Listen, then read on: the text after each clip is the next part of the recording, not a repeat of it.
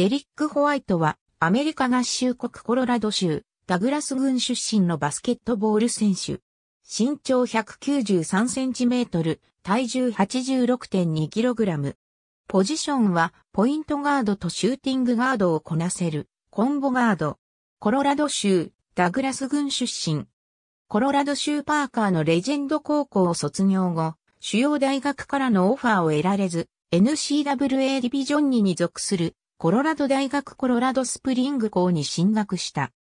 2012年から2015年までの3シーズンをコロラド大学コロラドスプリング校でプレーした後、NCAA ディビジョン1のコロラド大学ボルダー校に転校し、2015から16シーズンは転校規定で試合に出場することはできなかったが、2016から2017シーズンをコロラドバッファローズでプレーした。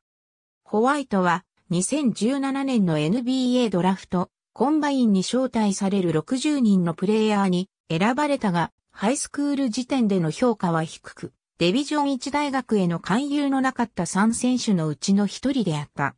2017年6月22日、NBA ドラフト1巡目29位でサンアントニオスパーズに指名され、7月6日、正式に契約を結んだ。サンアントニオスパーズ2017年10月18日、ミネソタティンバーウルブズ戦で NBA デビューを果たし、10月28日のオーランドマジック戦でフリースローによる初得点と3リバウンド2アシストを記録した。10月31日、ダービス・バータンと共に G リーグのオースティンスパーズにアサインされた。11月4日、G リーグでのテキサスレジェンズ戦で右手首を骨折し、負傷者リスト入りした。2018年3月12日、ヒューストンロケッツ戦で4リバウンド、1アシスト、1ブロックとともにキャリアハイとなる14得点を記録した。